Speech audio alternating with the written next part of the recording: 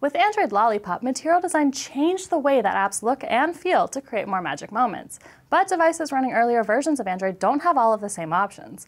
I'm Joanna Smith, and one of the coolest things that Material Design gave us were toolbars, which are now even more magical because they're backwards compatible as well.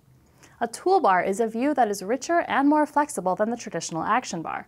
In fact, toolbars are part of your view hierarchy, so they can be animated or even react to scroll events.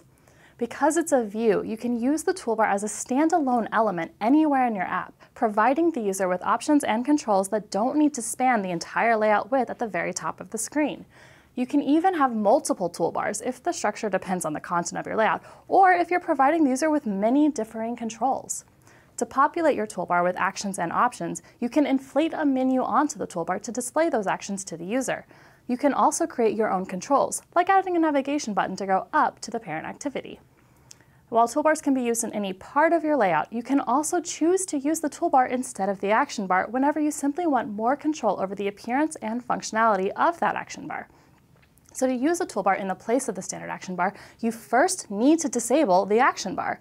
The easiest way to do this is to have your theme extend from theme appcompat no action bar, or its light variant.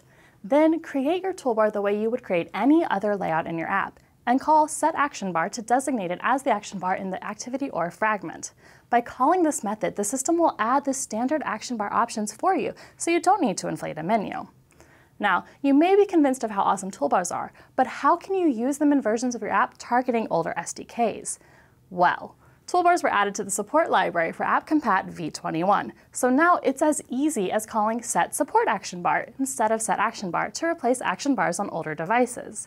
So check the documentation for all of the support options available so that you can bring more magic moments to your users. And for more tips on making sure that your app is at its best, check out the rest of our Android development patterns content or consider joining our G Plus community. But most importantly, just continue to build better apps.